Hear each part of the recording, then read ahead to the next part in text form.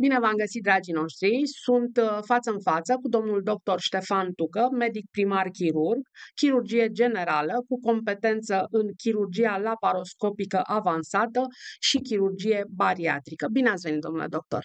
Mulțumesc frumos pentru invitație. Astăzi avem un subiect extrem de important și de interesant.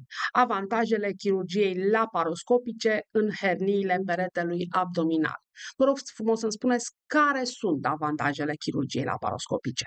Să vorbim un pic despre ceea ce înseamnă laparoscopie. Laparoscopie, uh, laparoscopia a presupus uh, transformarea chirurgiei convenționale ce presupunea o incizie Uh, largă la nivelul peretelui abdominal într-o chirurgie minim-invazivă. Acum aceleași operații se fac uh, prin niște uh, mici incizii, cele mai mari au, au un centimetru, iar chirurgul cu ajutorul unor instrumente lungi și subțiri manipulează organele și rezolvă problema Uh, chirurgicală, din, uh, având în vedere minim-invazivitatea ei, recuperarea pacientului după operațiile laparoscopice, după toate operațiile laparoscopice, este una foarte rapidă. Durerile resimțite. un avantaj. Da. Durerile resimțite uh, sunt uh, minime, Uh, confortul pacienților este cu totul altul față de uh, chirurgia uh, convențională. Recuperarea lor este mult mai rapidă, neavând o, o tăietură mare la nivelul peretelui abdominal și fiind doar mici incizii, acestea recuperează foarte bine și se întorc rapid la activitățile, la activitățile profesionale. Ceea ce e perfect. Exact. La nivelul peretelui abdominal există mai multe zone de slăbiciune unde apar hernii, pentru că uh, despre asta încercăm să dezvoltăm. Există uh, la nivelul regiunii inghinale o zonă de slăbiciune, la nivelul regiunii femurale o zonă de slăbiciune, la nivelul uh, umbilicului o zonă de, de slăbiciune, rezultând hernii inghinale, femurale sau hernii umbilicale, care sunt uh, cele mai frecvente tipuri de uh, hernii. Există de asemenea și niște hernii care se numesc, de fapt, eventrații, sunt hernii incizionale care apar la pacienții operați și la care peretele abdominal se, uh, se rupe între ghilimele și apare un orificiu la nivelul, uh, la nivelul suturii, uh, suturii anterioare. Operația presupune, cum spuneam, minim invazivitate, se introduce la nivelul cavității abdominale un laparoscop, care este o cameră video în miniatură, e o cameră telescopică lungă cu diametru de 1 cm. Acest laparoscop este conectat printr-un cablu optic de un ecran de un monitor da. și proiectează uh, pe acest ecran interiorul uh, pacientului. După care chirurgul manipulează cu ajutorul unor uh, pense, de exemplu, uh, la nivelul herniei inghinale, uh, realizează o secțiune a peritoneului, membrana care tapetează cavitatea abdominală pe interior, uh, disecă pe o distanță sub, suficient de largă regiunea uh, inghinală respectivă, în așa fel încât să tragă sacul de hernie, hernie la un sac.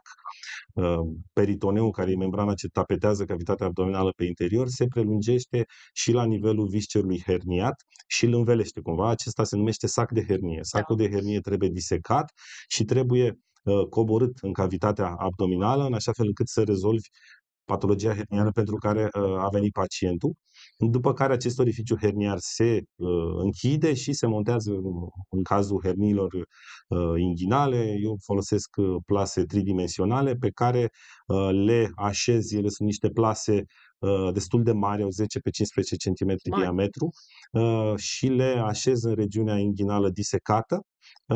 Aceste plase sunt fixate sau cu Uh, histoacril, care este un, uh, un lipici, un adeziv biocompatibil, sau cu agrafe uh, rezorbabile sau nerezorbabile. Operația se încheie prin suturarea peritoneului care a fost secționat inițial. Se durează în medie o operație de hernie inghinală durează în medie 45 de minute o oră în funcție de complexitatea cazului. Se, se realizează sub anestezie generală Asta și, vreau să vă întreb, da? și presupune Uh, doar 24 de ore de uh, internare uh, pentru pacient, lucru care este foarte bun pentru pacient.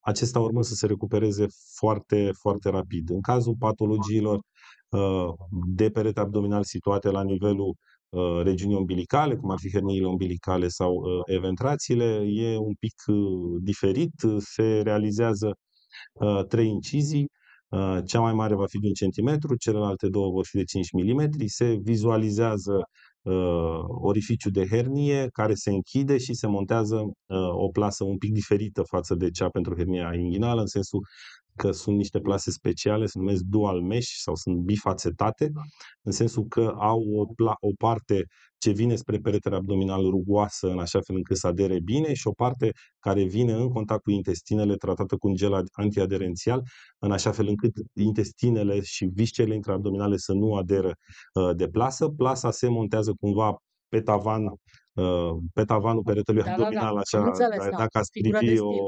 O, o operație laparoscopică de ventrație, v-ați dat seama că e cumva Pe uh, tavan. vorba, vorba de tavan uh, și se, uh, se pune în așa fel încât să fie mare față de orificiu de, uh, de eventrație sau de hernie umbilicală, trebuie să depășească cam cu 5 cm în toate direcțiile aceste orificii.